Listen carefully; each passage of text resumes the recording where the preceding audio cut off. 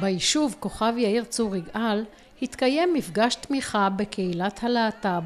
ביוזמת חגית הלפרין אביבי תושבת היישוב שכתבה פוסט מרגש בפייסבוק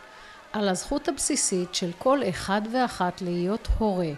ועל הצורך שלנו לתמוך בקהילת הלהט"ב ביישוב. הפוסט זכה להיענות גדולה של התושבים שבאו למרכז בחולצות בצבעי דגל הלהט"ב בכדי להביע את הזדהותם הכנה עם הקהילה הגאה